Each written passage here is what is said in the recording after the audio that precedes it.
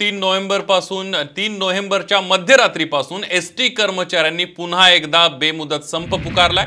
महाराष्ट्र राज्य कनिष्ठ वेतन श्रेणी एस टी कर्मचारी संघटना आणि संघर्ष ग्रुप दिवाळीच्या पूर्वसंध्येपासूनच संयुक्तरित्या बेमुदत संपावर जाणार आहेत.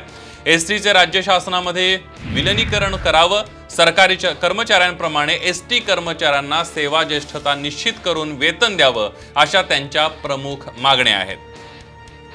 अधिक माहिती घेऊयात. रामनाथ दवणे आपले प्रतिनिधी आपल्यासोबत आहेत. रामनाथ आपण बघतोय की एस टी कर्मचारी पुन्हा एकदा संपावर जाण्याच्या तयारीत आहेत असा इशारा दिलेला आहे आणि त्यांनी संप घोषित करून टाकलाय. आता सरकार दरबारी काय हालचाली सुरू आहे संदीप नक्कीच गेल्या दोन दिवसापूर्वी जे परिवहन मंत्री आहेत यांच्यासोबत एसटी कर्मचारी संघटनेची बैठक झाली होती. आणि या बैठकी दरम्यान विविध मागण्यांवरती चर्चा होत असताना काही मागण्या प्रलंबित असल्याचं देखील एसटी कर्मचारी संघटनेकडून बोलले जात होते. मात्र आता महाराष्ट्र राज्य कनिष्ठ वेतन सेवी एसटी कर्मचारी संघटना आणि संघर्ष ग्रुप जे कर्मचारी संघटना आहेत या आता तीन नोव्हेंबर मध्यरात्रीपासून एस टी कर्मचारी बेमुदत संपावर जाईल अशा पद्धतीचा इशारा या संघटनांकडून देण्यात आला आहे. महत्वाचं म्हणजे एस टीचे राज्य शासनाचे विलिनीकरण करावे.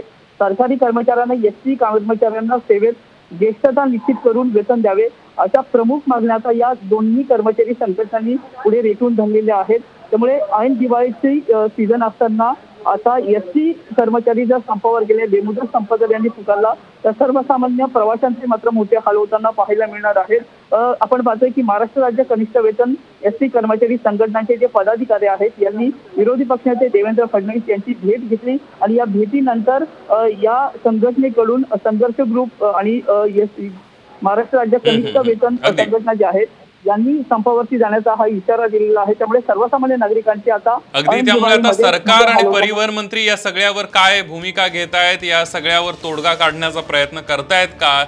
हे बघणं महत्वाचं ठरणार आहे. रामनाथ धन्यवाद तुम्ही दिलेल्या या संपूर्ण माहितीबद्दल.